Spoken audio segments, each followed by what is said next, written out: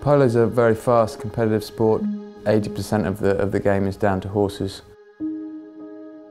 You've got to be gelled with your horse, at one with the horse. If you're riding great horses, you're going to win.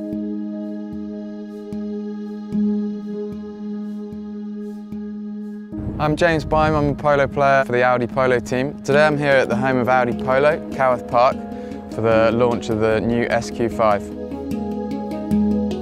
The object of the game is to score more goals than your opponent. Four players on each team with some top thoroughbred horses on either side. The ones that are better will come out on top. The process of making a polo pony yeah, takes a long time. When they reach, say, six years old, they're ready to play properly. Acceleration is vital to get off the mark and run away from another player is, you know, you, you need it. Without that, you're the one running behind. The horses need to be handy so that you can turn and stop faster than your opponents. ultimately get away from them if, if they come near you.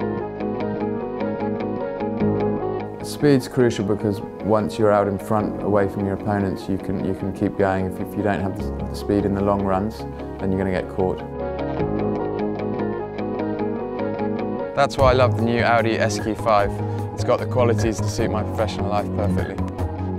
It's got the handling I'm after, the boot space I need for all my gear to get to my games and it's got all the comfort I need after a long day in the saddle. So can I take it for a ride now?